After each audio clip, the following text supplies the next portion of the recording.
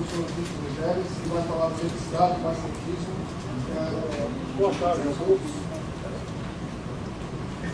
Bom, de, vai falar de eletricidade e magnetismo, uh, de, de Gilberto e o professor Vitor, uh, eu acho que é conhecido dos que são aqui do FUSP, ele é, foi aluno do FUSP, graduou-se aqui em 1973, Uh, depois ele tirou o doutoramento dele no King's College em 82 e ingressou aqui no FUSP em 1988. E desde então tem, tem estado aqui. Eu acho que é um prazer passar a palavra para o Vitor. Obrigado pela introdução. Ah, está funcionando? Bom, uh, sempre um prazer estar no seminário convite aqui. Bom, só queria saber dos organizadores do que pediram para falar sobre as principais experiências de eletricidade de magnetismo que levaram a, que levaram a, a formulação atual dessa magnetismo. Como eu achei que é, tem uma tarefa difícil, vamos passar por tempo lá para se tornar agradável, eu espero que vocês seja agradável para vocês também. Eu poderia falar sobre uma infinidade de experiências que são importantes para Eu resolvi seguir um curso histórico que me parece mais apropriado para mostrar para vocês como é que as coisas foram aparecendo e como é que os conceitos foram sendo formulados e foram sendo aperfeiçoados com o passar do tempo. Tanto uh, fenômenos elétricos quanto fenômenos magnéticos são conhecidos desde a antiguidade. Existem vários registros e escritos de fenômenos elétricos e magnéticos. Um exemplo, por exemplo, um, exemplo é, é isso daqui, também na verdade de bateria de qualidade, talvez seja o exemplo mais antigo que foi encontrado da construção de uma bateria. Na verdade, o que foi descoberto foi só essa casca, né, que é feita de, de, uma argila bastante. Uh, uma argila misturada, de forma que ela é bastante escura. Foi encontrado só, foi encontrado uh, sinais de, de, metal dentro dessa cápsula de argila. Isso aqui é uma reconstrução, não é, não é original. Então, isso foi datado radiocarbono como, como, tendo, como tendo sido construído em cerca de 250 a.C. Né? Então você vê que é um recipiente, né? tem, um, tem um, um tubo de metal, essa fila colocada no de cobre, e você pode inserir uma haste de ferro, exemplo. Você colocar vinagre ou vinagre dentro desse recipiente, você tem uma fita. Né? Isso daqui pode produzir a diferença de potencial de um volt, você pode, pode fazer faísca e, e, alegrar seus colegas. Provavelmente ela servia para isso, nada mais, nada além disso. Uh, todo mundo sabe também que o fenômeno magnético era conhecido pelos chineses e pelos gregos. Né? A bússola, de fato, foi inventada pelos chineses ao redor de mil depois de Cristo. Esse é um dos primeiros, uma das primeiras bússolas. A agulha está aqui, mas é, é, ela, ela tem a mesma forma da da, sobre o formato das indicações muito parecidas com as indicações que a gente encontra numa bússola ocidental. Então, apesar desses fenômenos, né, o fato de você conseguir atritar um pedaço de, de atritar enxofre, um pedaço de enxofre, a fazer atritar um pedaço de âmbar e atrair um pedacinho de coisas pequenas, também era conhecido. E todos esses fenômenos uh, nunca foram estudados quantitativamente, sempre foram estudados quantitativamente.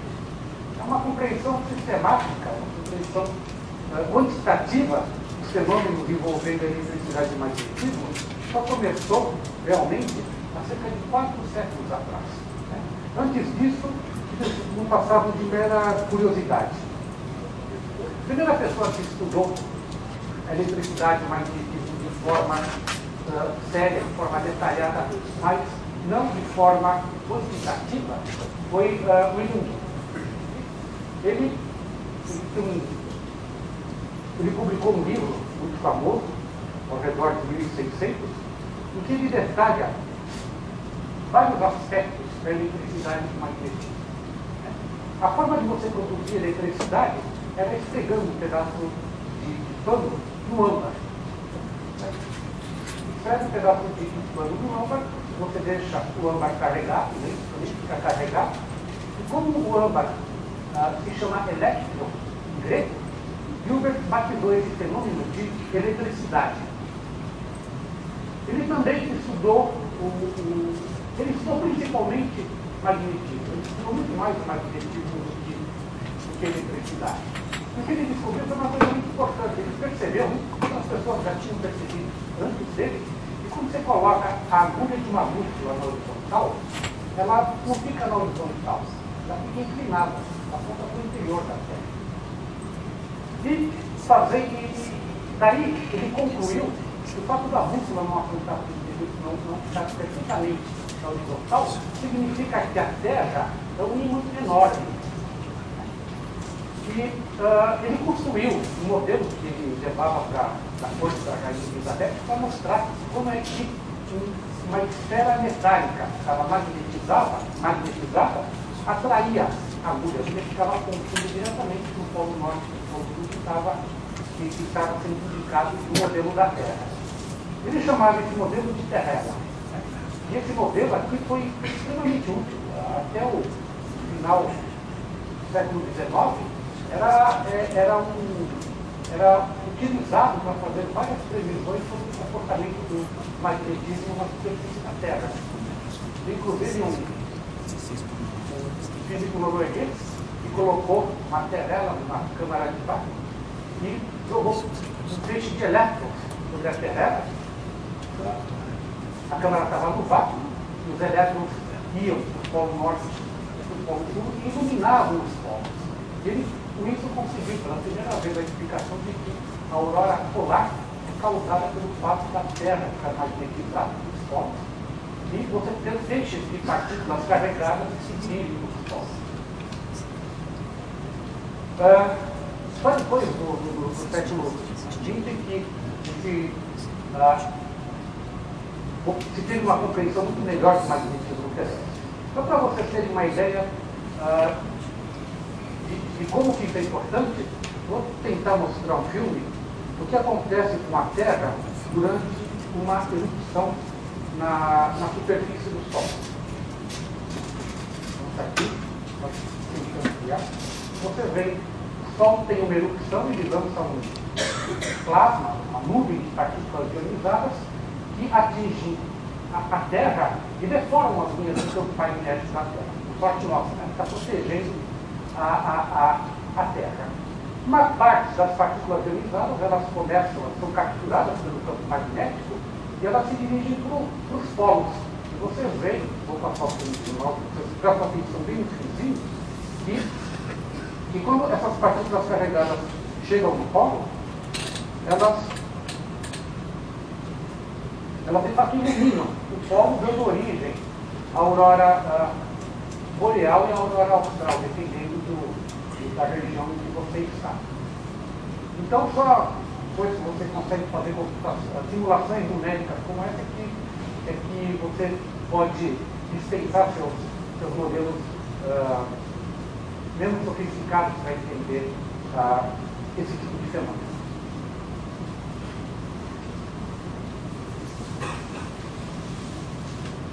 Muito bem. Essa ideia de que a Terra é um enorme produziu uma, uma influência fantástica na, na, no meio científico daquela época. Duas pessoas foram extremamente influenciadas por essa imagem de que a Terra é um Uma delas foi Kepler e outra foi Newton.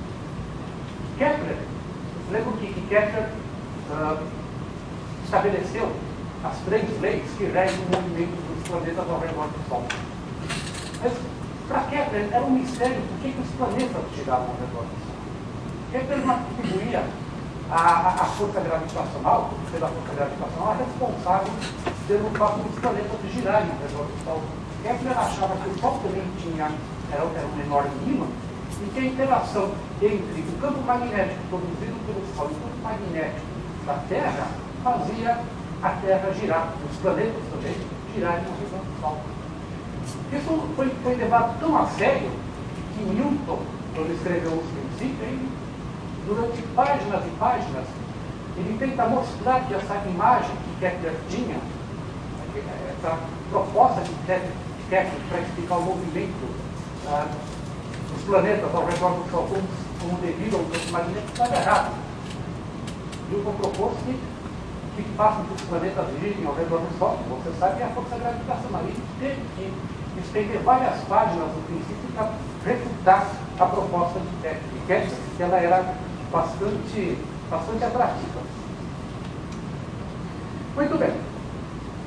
Uma, coisa importante é que, como eu falei antes, é que Gilbert fez todas essas análises de forma qualitativa. Né? Gilbert levava tão a sério essa, imagem da Terra como clima, que ele procurava explicar o movimento de rotação da Terra, né? como sendo devido exclusivamente ao magnetismo da Terra. Né? Tinha um modelo que, que, previa que uma esfera, uma esfera, uh, uma esfera magnetizada tinha um movimento próprio de rotação. Obviamente ele estava errado, os argumentos que outros estavam errados, mas isso era, essa ideia de ter um campo magnético que permeia todo o espaço, era uma ideia muito poderosa uh, na época de Outra pessoa que teve um papel muito importante na evolução uh, do eletromagnetismo foi Benjamin Franklin. Benjamin Franklin era um, uma pessoa extremamente dotada em várias áreas de conhecimento, estadista renomado, e uh, foi ele que uh, propôs a teoria de que a eletricidade era um fluido. Um fluido. Na época de Franklin já se sabia que existiam dois tipos de eletricidade, que eram chamadas de eletricidade ímpria, que aparece quando você esfrega um pedaço de pano num pedaço de vidro, e a eletricidade resinosa, que é a eletricidade que você tem quando esfrega, por exemplo, um pedaço de plástico, um pedaço de âmbar, tanto ele usava, um pedaço de pano. Eram dois tipos de eletricidade diferentes e era natural supor que haviam dois tipos de fluidos para explicar esses dois tipos de eletricidade. Franklin mostrou que, na verdade, bastava um único fluido para explicar esses dois tipos de eletricidade. Né? Bastava dois, um único fluido e a eletricidade, as cargas elétricas apareciam quando esse fluido estava em excesso ou estava em falta dentro do por exemplo, se você pega um pedaço de vidro e aplica esse vidro um pedaço o que, uh, na visão de, de Franklin, o que acontecia era que se rompia esse estado de equilíbrio do fluido, você tinha mais fluido no, no, no pedaço de vidro e menos fluido no pano, no pedaço de seda que você aplicou. Então, ele afirmava que o pedaço de vidro ficou carregado positivamente e o pano estava carregado negativamente. Então, ele chamou de positiva as cargas que estavam no pedaço de vidro. Se você faz a mesma experiência com uma resina qualquer, com um pedaço de âmbar, então você obtém a carga oposta. Ele chamou de carga negativa né? e essa nomenclatura pegou. Ninguém sabe até hoje por que ele decidiu chamar a carga que ficava no vidro de positiva e a carga que ficava no âmbito de, de, de negativo. Mas o que ele fez foram experiências extremamente simples, não tem nada, nada quantitativo. Todas as experiências que ele fez no final foram experiências quantitativas. Né? Como é que ele sabia que existiam dois tipos de carga? Você pega, você pega um pedaço de vidro, atrita, uh, com, com, faz o atrito com, com a seda e você descobre que a seda e o vidro se atraem. Então, eles têm carga negativa. Se você uh, carrega dois pedaços de vidro, e aproxima dois pedaços de vidro, ele descobriu que os pedaços de vidro se repeliam. Então, ele descobriu, nós conhecemos hoje, uma lei de cargas iguais. Se repelem e quando de cargas diferentes se atraem. De maneira extremamente simples. Mais do que isso, ele estabeleceu o princípio da conservação da carga elétrica. Né? Novamente, ele pega um pedaço de vidro um, e, e, e, atrita esse pedaço de vidro com um lenço. Né? Se os dois estavam neutros antes desse processo, eles ficam carregados depois do atrito. Muito bem. Aí, uh, o, que, que, o que, que ele faz? Ele simplesmente pega o lenço carregado, enrola o lenço carregado no pedaço de vidro e aproxima o lenço e o pedaço de vidro de outros objetos para saber se existe uma força de atração ou uma força de repulsão eletrostática. E ele chega à conclusão de que não tem nenhuma carga quando você coloca o, de seda junto com o vidro. Portanto, durante o processo de geração de cargas, né, houve cargas acumuladas no vidro e no de seda, essas cargas elas foram criadas em quantidades iguais. É que quando você coloca as duas juntas, elas desaparecem. Então, cargas nunca são criadas em excesso. Quando elas desaparecem, também não sobra nenhuma carga. Então, argumentos e experiências extremamente simples levaram a essa a, essa visão que nós temos de carga elétrica. Uh, Franklin ficou famoso também por uh, descobrir que descobrir que, durante uma tempestade as nuvens estão carregadas com o mesmo tipo de eletricidade que é fabricada no laboratório, é fabricada por esse processo de, de atrito. Não era óbvio, né? não é óbvio que um raio, um raio que sai de uma nuvem e chega aqui à Terra, é composto de eletricidade. Né? O que Franklin propôs, né? o que propôs foi fazer aquela série de experiências da pipa durante um dia de tempestade e tentar capturar alguma coisa que possa descer pelo fio molhado e segurar a pipa. Aparentemente, o Franklin não foi a primeira pessoa que fez essa experiência. Ele propôs a experiência e um francês fez a experiência antes do Franklin. A experiência não é, não é como mostra essa figura, o camarada lá no dia de chuva, tentando, uh, tentando fazer a pipa voar. Porque certamente, se cair um raio, ele vai ser eletrocutado. Então ele sabia disso. Né? O que ele faz é, é, é, é pegar o fio molhado, né? no finalzinho do fio você pendura um objeto metálico, uma chave, e com isso você pode carregar objetos metálicos. Carregar recipientes, garrafas de leite, ou qualquer coisa semelhante, para acumular essa carga e ver que essa carga acumulada tem as mesmas propriedades das cargas que você obtém por aqui. É. Outras experiências, outras pessoas, de fato, uh, fizeram o que o Franklin fez, que é sair na chuva e empinar. E muita gente morreu.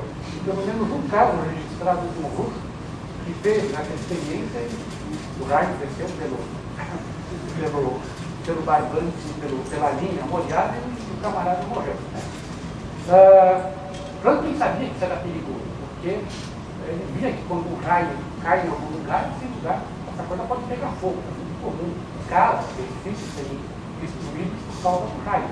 E ele usou todo esse conhecimento para construir para cá. Então como é que você sabe que você tem cargas elétricas? Né? Você tem que ter um, um aparelho para saber se o objeto que você tem é carregado ou não. E o aparelho mais simples para detectar se existem cargas elétricas é chamado de eletroscópio. Então vou passar um outro filmezinho que mostra um eletroscópio em ação. E vocês vão ver que é um, uma coisa feita com um clipe, né?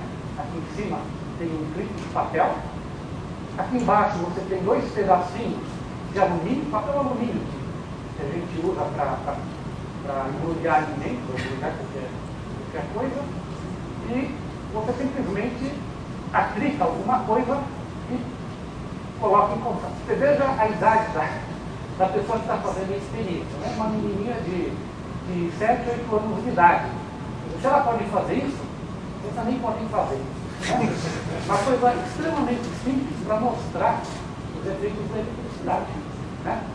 Tem áudio nesse filme, vocês uh, podem ver o filme em casa, e a pessoa que está tá filmando está entrevistando a garota e está perguntando para ela o que está acontecendo, o que, que, você faz isso, e ela responde tudo, tudo direitinho. Né? não é uma menina que está fazendo curso colegial, mas ela certamente tem um professor muito bom que a orientou para fazer, para fazer isso daí. Então, uh, não é muito difícil a gente construir aparelhos para detectar que um objeto está carregado ou não. Bom, Franklin também não fez nada quantitativo. Todas as coisas que ele fez eram qualitativas e a primeira vez em que se procurou determinar os efeitos da eletricidade de forma quantitativa, ah, a primeira pessoa que tentou fazer isso foi Coulomb.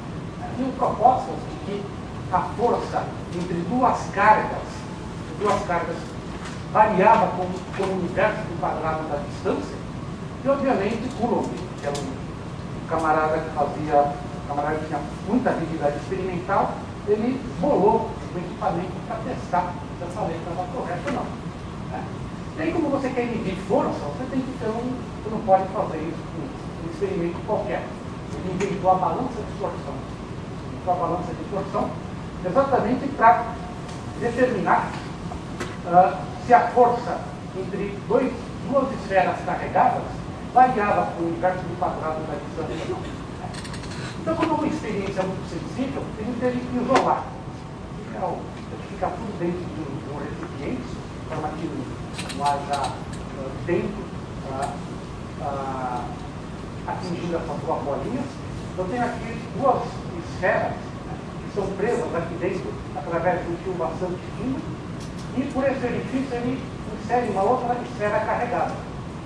Então, você medindo a força de atração através da rotação que ela exerce nesse fiozinho aqui, você medindo o ângulo de rotação, você consegue saber qual é a lei de força entre as duas esferas carregadas.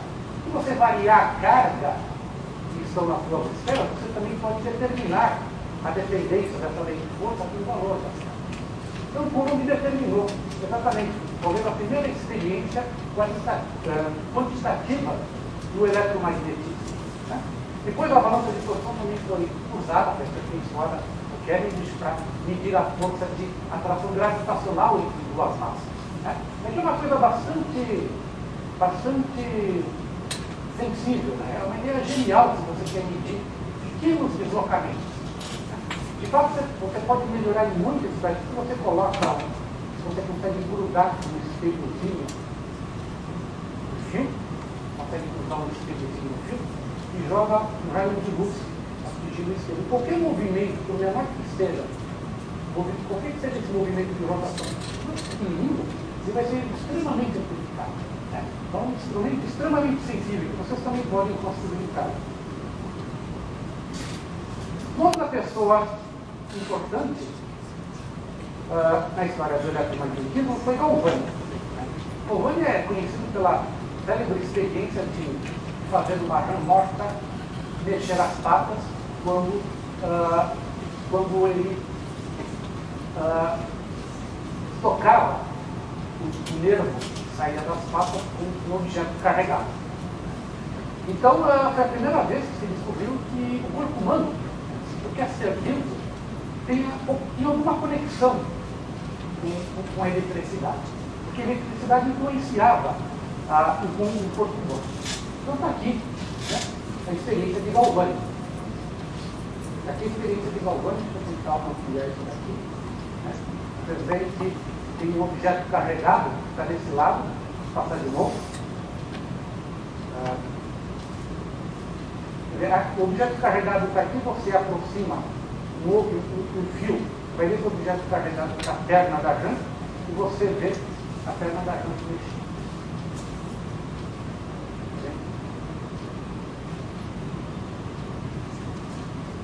É claro que isso é uma animação, né? não é um filme real. O Marjan foi morta na competição desse seminário. Então, uh, eu não consegui, eu não consegui uma imagem desse, dessa experiência real. Mas é algo que vocês também podem fazer, se encontrarem o Marjan em São Paulo, que é muito difícil. Muito bem. Isso foi muito importante porque uh, se mostrou que os corpos vivos também eram suscetíveis à eletricidade. E se acreditava que essa eletricidade finos, cortes finos, era diferente da eletricidade produzida por atrito. Tanto é que a eletricidade foi chamada de eletricidade animal. Era diferente, acreditava que era diferente da eletricidade produzida por atrito. Outra pessoa que teve uma, que teve uma importância devastadora na história do eletromagnetismo foi o Volta, simplesmente porque ele inventou a pilha. Né? A pilha de, de volta é simplesmente uma camada, camada de de dois metais, né, em geral, dois metais, e que você, uh, e, entre esses dois metais você coloca alguma coisa que seja um bom condutor, um papel em salvador, a experiência original de volta ele usou, ele usava ácido sulfúrico, e com isso, pela primeira vez, você tinha um meio de produzir uma corrente elétrica que fosse estável. Podia usar durante alguns minutos, até durante algumas horas, e fazer experiência com essa corrente elétrica. Então está aqui uma reconstrução da, da pilha de volta. Né? Isso é uma, é uma coisa que qualquer um pode fazer. Né? Só precisa de um, de um suporte, nesse caso, três suportes, né? de três suportes, você precisa de dois metais diferentes, que provavelmente é, é cobre e zinco, e um plano indevido em, em ácido sulfúrico ou qualquer outro tipo de ácido. Aí você monta esse conjunto de três uh, objetos, e coloca, superpõe um ao outro e põe entre os três suportes que você construiu. Aí aperta tudo e simplesmente mede a corrente. Aqui não dá para saber o que ele está medindo está medindo algum número ali, não sei se é uma corrente ou uma diferença de potência, mas funciona.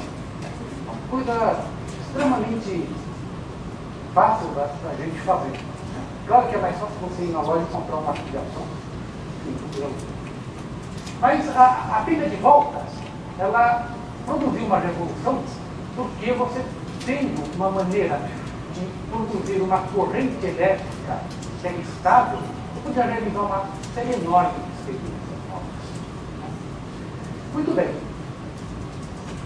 Acontece que, até essa época, até o início, final do século XVIII, início do século XIX, eletricidade e magnetismo eram consideradas uh, manifestações totalmente separadas.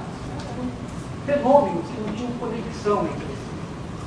Apesar disso, havia muita gente que acreditava que tinha que ter uma conexão entre eletricidade e magnetismo. Não era possível que você tivesse dois tipos de fenômenos né, que tinham alguma coisa de semelhante, mas não havia conexão. Você não conseguia, através de um fenômeno elétrico, produzir um fenômeno magnético e vice-versa. Até que apareceu um camarada chamado Ørsted. Ørsted é uma figura bastante curiosa, porque ele tinha. As pessoas nessa época não se formavam em física, se formavam em filosofia, na física, química, biologia ele tinha uma formação humanista muito boa. Ele seria o que hoje nós chamaríamos um, um camarada holístico. Ele acreditava que a natureza é muito boa. Por isso ele acreditava que eletricidade e magnetismo tinham que estar. Ele passou grande parte da vida procurando essa conexão. Ele descobriu essa conexão por acaso. Ele estava dando uma aula, estava dando uma aula, e nessa aula ele estava demonstrando como os efeitos da, da pilha de volta, tinha uma pilha, fechava a corrente, produzia faíscas. Como ele era um...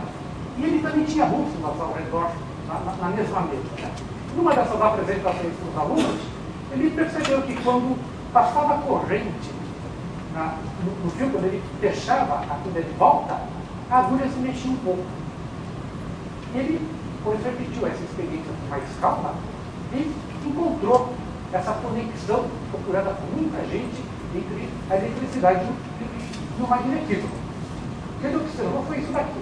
Então, uma experiência da, de como é que ela foi feita na época, mas se a gente repetir essa experiência hoje, o que nós podemos fazer é isso. A gente pode controlar a corrente.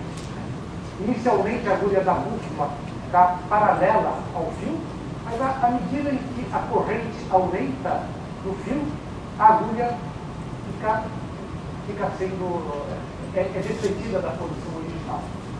Aí você diminui quantidade de corrente que passa no fio e a agulha volta a posição final.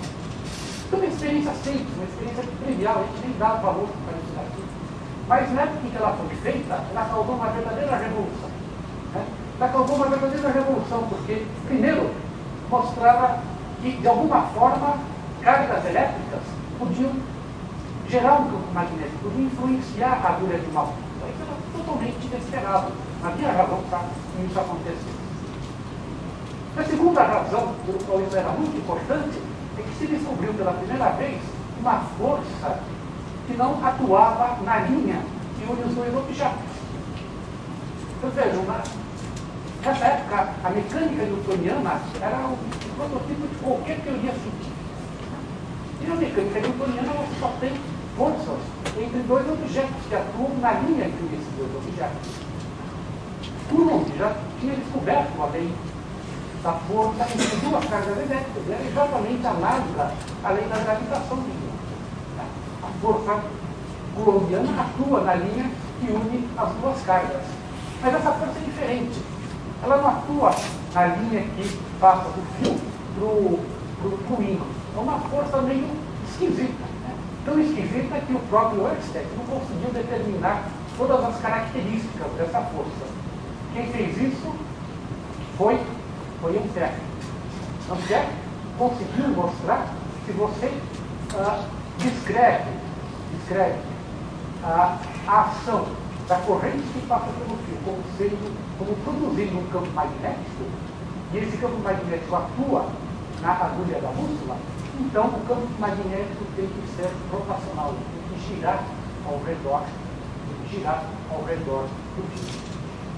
E isso não, não provoca uma força uh, na linha que une o fio ao ímã. Uma força muito esquisita. Uma força que atua na direção perpendicular. Então isso chamou a atenção uh, de toda a comunidade científica na época. Era a primeira vez que se viu uma força como essa.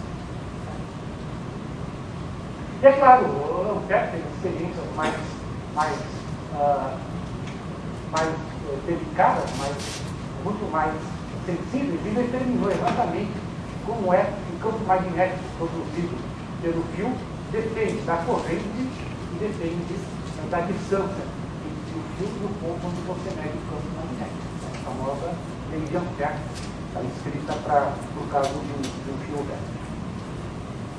Bom, uh, essa experiência de Joyce, realmente, como eu disse antes, ela causou uma revolução. Né? causou uma revolução e daí para frente as coisas começaram a se desenvolver com uma velocidade incrivelmente grande. Essa experiência de Ørsted foi, foi tão importante que no ano seguinte, uh, que foi descoberta, uh, um, um, camarada chamado David pediu seu assistente fazer um trabalho de revisão sobre todos os fenômenos eletromagnéticos conhecidos até aquela época. O assistente do David era Faraday. Faraday era simplesmente um assistente de laboratório e ele começou a, a pegar todos os trabalhos conhecidos sobre eletromagnetismo, inclusive a de hoje. Só que ele não se contentou de apenas reproduzir, coletar os resultados. Ele achou que ele tinha que reproduzir as experiências para verificar se elas eram verdadeiras ou não. Só que Faraday era um físico experimental de Montchila. Ele não só repetia as experiências, como melhorava muito a qualidade das experiências. E ele, com essa tarefa que deu a Faraday, ele se tornou a figura, uma das dos físicos experimentais mais bem sucedidos de toda a história. Ele fez um número incrível de descobertas. Eu não vou poder mencionar a parcela mínima dessas descobertas. Eu vou mencionar duas ou três que são importantes. Né? Faraday também acreditava nessa conexão entre eletricidade e magnetismo. Ele afirmou o seguinte, se uh, eu posso ter uma corrente, cargas de movimento, essas cargas se produzem força magnética, eu posso ter efeito inverso. Como é que eu posso criar o efeito do campo magnético sobre cargas elétricas? A coisa tem que ser recíproca, não tem outro jeito. E ele passou grande parte da vida dele uh, procurando esse efeito. E esse efeito foi muito sutil. Né? Não é um efeito simples de ser determinado. Né? Hoje em dia nós conhecemos esse efeito como lei de Faraday. Né? Você, tem, sabe que tem, um campo magnético variando tempo que se produz uma força eletromotriz. Essa é a, é a forma como a gente aprende a Faraday. A forma como ele descobriu foi muito mais complicada. Né? Depois de fazer muitas experiências, ele percebeu, né, tem uma, uma versão moderna da, da experiência de Faraday, ele percebeu que sempre que você ligava um circuito elétrico, né, seja, tinha uma pilha, tinha um circuito elétrico aqui, né, você tem uma espira, e você tem um anel de ferro, uma espira, você fecha o circuito elétrico, você tem uma espira, uma espira, você cria um campo magnético dentro da espira. A função desse anel de ferro é simplesmente fazer com que o campo magnético uh, seja uh, aprisionado dentro dessa espira e possa ser detectado por essa outra espira.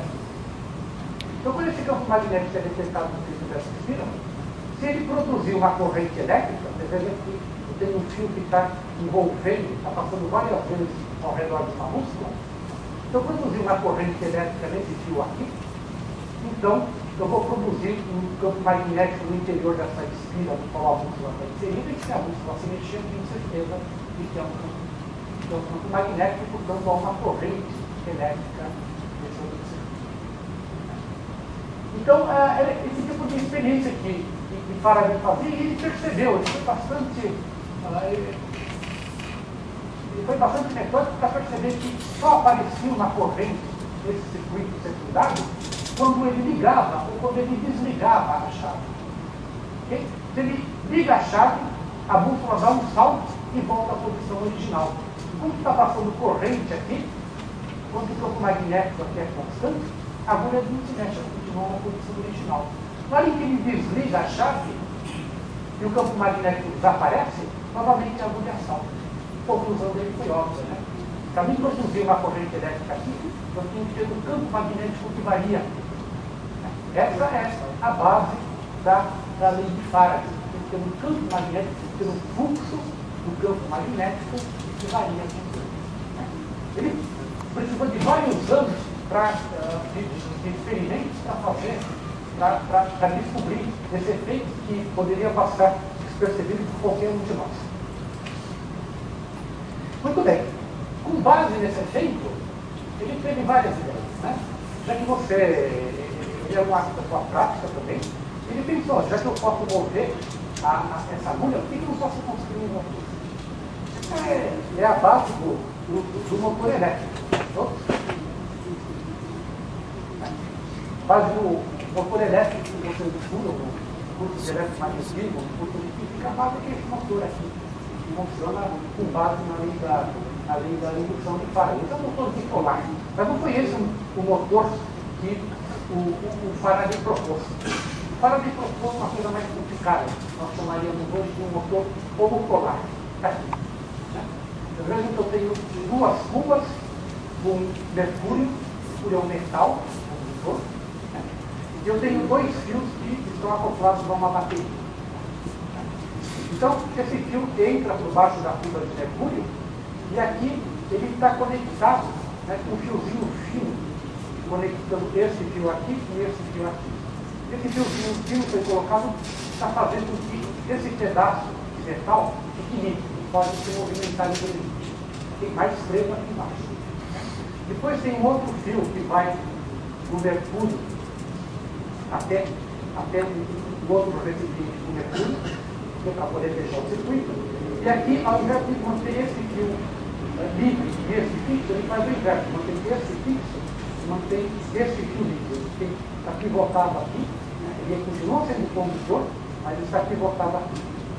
Então, quando você liga a bateria desse sistema, o que, que acontece? Esse fio aqui começa a girar pela curva e esse fio aqui também começa a girar por causa da. Aí, não é só por causa da, da, da indução, mas por causa da força de Lorentz que é é uma maneira muito complicada de construir um motor. Hoje em dia a gente tem maneiras muito mais simples de montar um motor como polar. Né?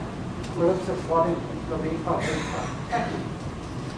Motor monopolar. Você tem uma bateria, uma bateria pequenininha, que está grudada esse parafuso e por sua vez está grudado no ímã por causa da, do ímã. Você fecha o circuito, né? o que acontece? O motor começa a girar. Né?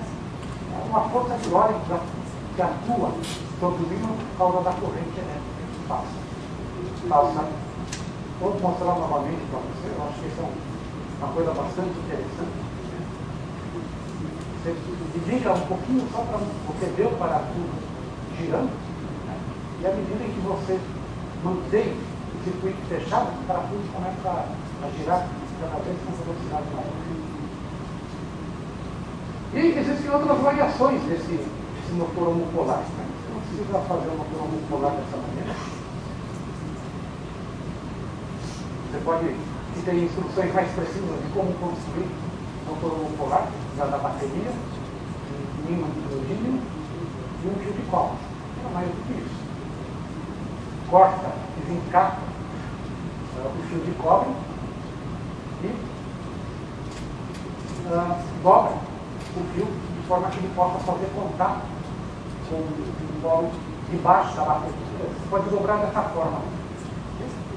Então você gruda o ímã na, na bateria e o motor está pronto.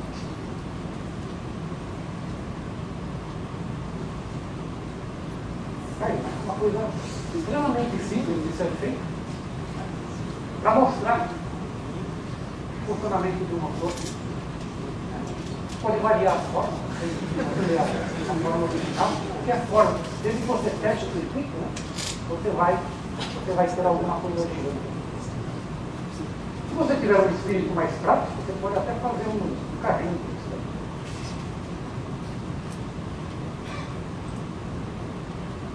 Põe as pilhas, as duas extremidades da, da bateria, simplesmente conecta. Conecta as duas extremidades.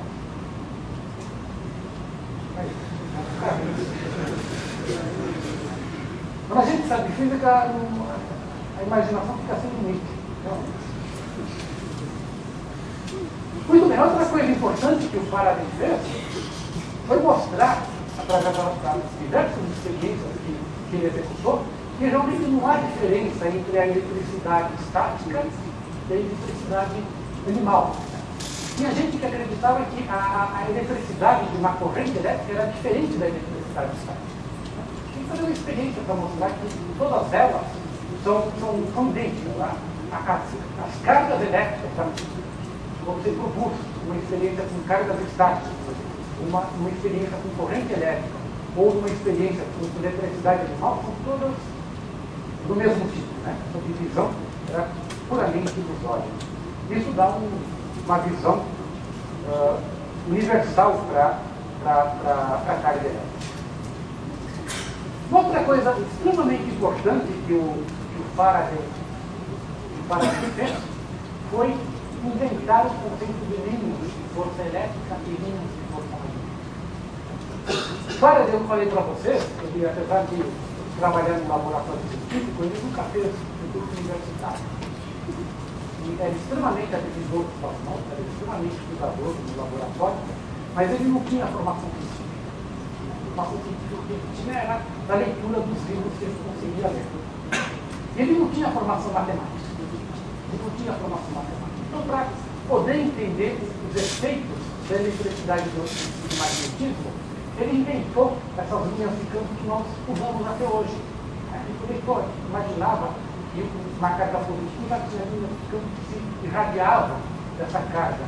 E o ímã tinha linhas de campo que nasciam no Polo Norte corriam no Polo Sul.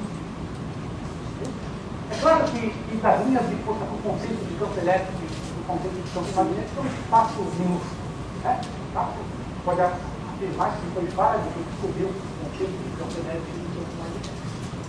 Mas apesar dessas quantidades serem extremamente úteis para a gente visualizar o que acontece numa dada situação, né? de tanta forma que, que Faraday procurava antecipar o que ia acontecer no experimento, e isso se mostrou extremamente útil. Muita gente começou a se preocupar, será que essas linhas de força, esse campo elétrico e esse campo magnético têm uma realidade física? Será que a gente pode descrever essa quantidade em termos matemáticos ou simplesmente são rabiscos para ajudar a gente a entender o que acontece? Novamente, para você responder uma pergunta dessa, você tem que saber, você tem que saber uma experiência que mostra, que, que, que, que mostra que esses, essas linhas de campo têm alguma propriedade física. E uma propriedade física importante é o de armazenamento de energia. Né? Se de fato você tem um campo elétrico ou um campo magnético, e esse campo consegue armazenar energia, eles podem dizer que ele tem uma realidade física, porque essa energia não está armazenada nem, não está armazenada nem na carne nem no ímã. Está no espaço em volta da carne e no espaço em volta do ímã. Então, eu vou mostrar para vocês, né? quer dizer, isso mais tarde, aos poucos, foi se confirmando que essa visão é, é verdadeira. Então, o campo elétrico, o campo magnético, são métodos auxiliares a gente entender os fenômenos eletromagnéticos, eles têm uma existência física. E para mostrar isso, eu vou mostrar, eu vou apresentar um outro, um outro vídeo com um canhão de Gauss. Você já conhece o canhão de Gauss? Está aqui.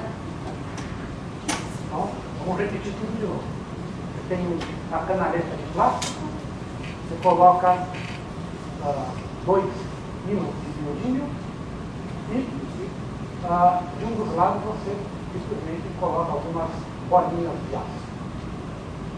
Bolinhas de rolê.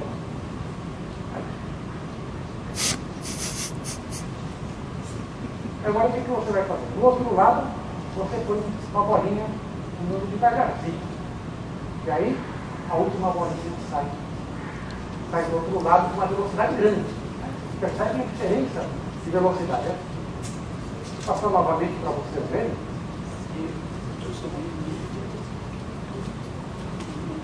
Que, que, a, que a bolinha chega com uma velocidade pequena e a outra sai com uma velocidade. A primeira tentação da gente é falar que energia não é conservada. Né? Tem energia cinética pequenininha da bolinha que chega e uma energia cinética grande da bolinha que de onde é que essa bolinha extraiu a energia se a energia conservada? Né? Ela extraiu do campo magnético, do campo magnético produzido pelo ímã. Então, aquele conjunto do ímã com as bolinhas cedeu energia potencial armazenada nas linhas de campo magnética, cedeu para a última bolinha. A última bolinha sai com energia cinética grande. Você veja que, vou passar de novo, porque você tem que se preocupar também com a conservação do momento. Né? A bolinha que vem devagarzinho tem um momento pequenininho. Todas as bolinhas são iguais, tem a mesma massa, e a última bolinha que sai, sai com uma velocidade grande, tem uma energia cinética tem um momento muito grande. Então, aparentemente, o momento também não é conservado. Mas se vocês prestarem atenção, vocês veem que quando a bolinha sai com uma velocidade grande, todo o sistema, toda a canaleta e as outras bolinhas recuam. Né? O recuo é grande. Veja que, que ele até salta da, da mesa. Isso é necessário para que o momento possa ser conservado.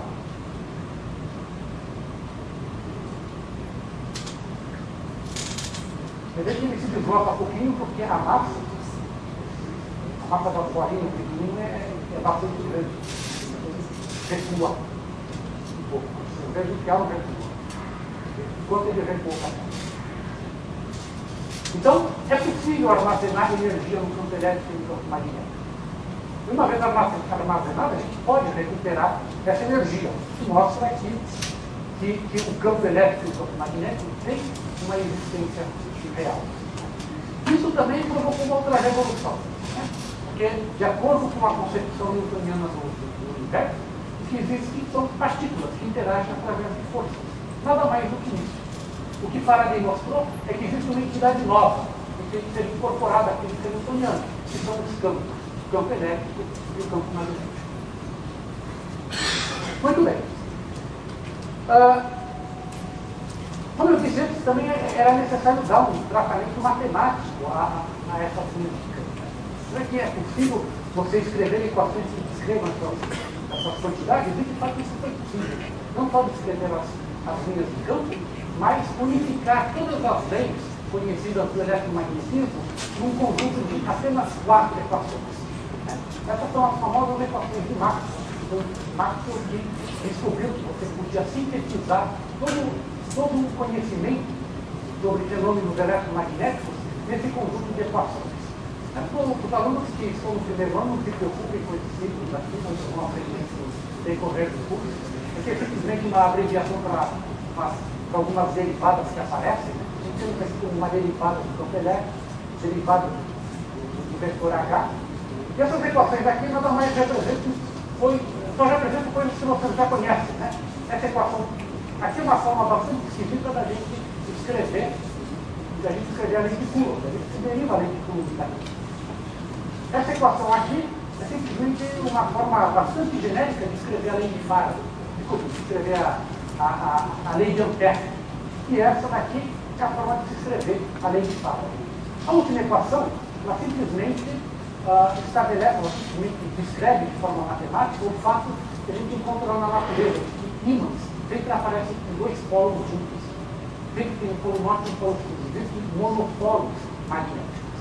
Né? Então, a afirmação matemática de que não existe um monopólio magnético é de que os divergentes do campo magnético Bom, quando Maxwell conseguiu descobrir essas equações, ele teve um problemazinho para esse termo aqui, não vai dar explicar. Né? Mas quando ele descobriu essas equações, ele percebeu que manipulando as equações, ele encontrava soluções oscilantes.